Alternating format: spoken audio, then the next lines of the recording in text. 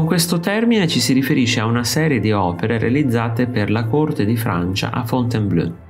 Più in generale indica tutto ciò che nell'arte francese di quel periodo fu influenzato dallo stile caratteristico che si creò a Fontainebleau.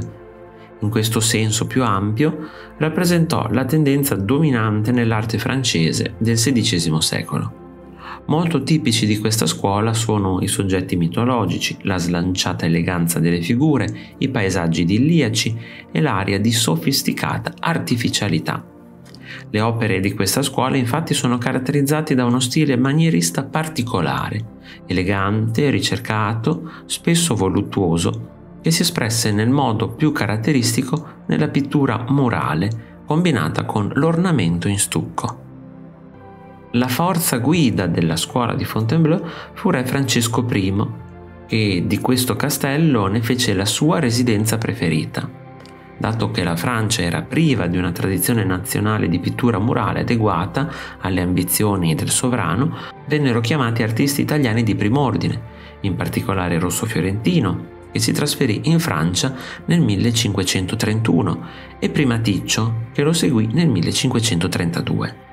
Anche altri artisti italiani lavorarono a Fontainebleau, tra i quali Niccolò dell'Abate e Cellini, ma molte delle opere collegate alla scuola furono realizzate da mani ignote, sebbene di alta qualità, come il famoso dipinto di Anna Cacciatrice. Questo stile artistico produsse opere tra il 1530 e il 1610 circa.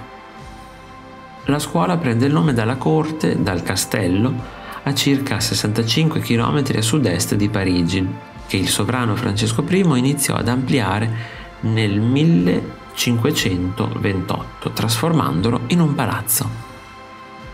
Il grande mecenatismo di Francesco I, che diede impulso alla scuola di Fontainebleau, fu un'espressione del suo desiderio di glorificare la corona francese, copiando il mecenatismo dei principi umanisti d'Italia. Si generò quindi un grande fermento artistico che diede vita a molte opere e di conseguenza alla scuola. Se ti è piaciuto il video iscriviti al canale, lascia like e condividilo con i tuoi amici. Ti invito anche a visitare il mio negozio. Un saluto e al prossimo video di Arte Esplorando.